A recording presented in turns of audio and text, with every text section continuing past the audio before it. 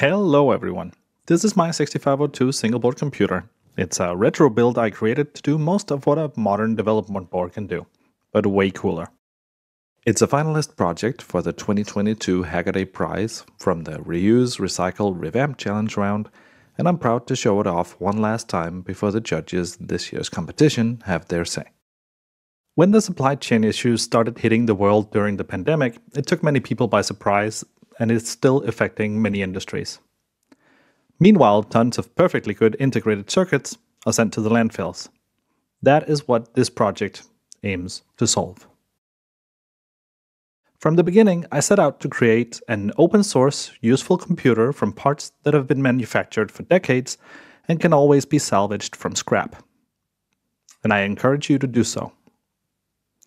It doesn't matter if you use a 47 year old NMOS 6502 CPU, a CMOS version from 2022, or anything in between. It doesn't matter if you use a PROM from the 70s, an EEPROM from the 90s, or a modern flash chip.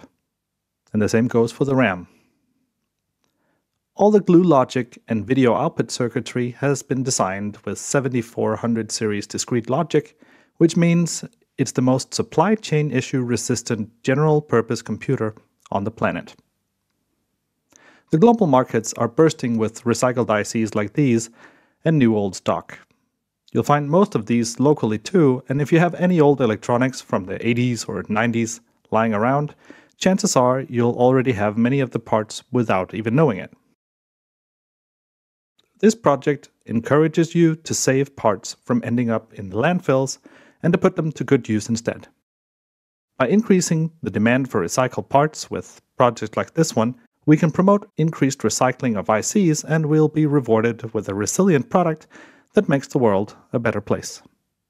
If you like old computers, if you want to learn programming assembly language, BASIC or C, if you tinker with electronics, or if you like building things, or you'd like an amazing workbench computer, or any of the above, then this project is for you.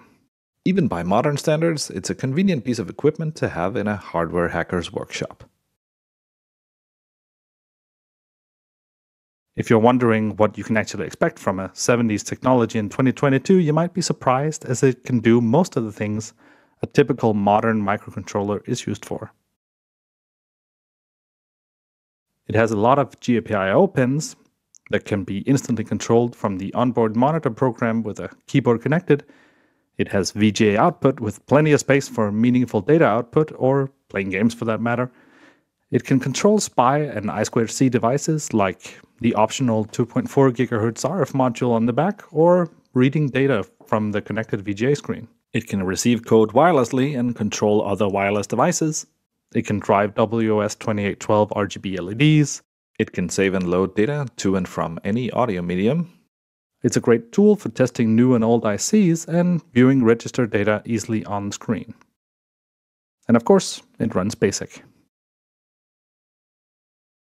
One of the best things is the price. If you use recycled ICs and solder it yourself, you should be able to make one for yourself for less than $20, deducting any parts you already have in your arsenal. I had a lot of fun making it, and I'm sure you will too. All the source code is available on GitHub, and you can find photos and more information on the hackaday.io project page.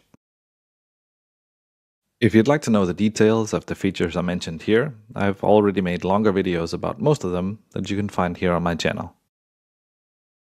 Thanks for watching, and good luck to all finalists in the 2022 Hackaday Prize.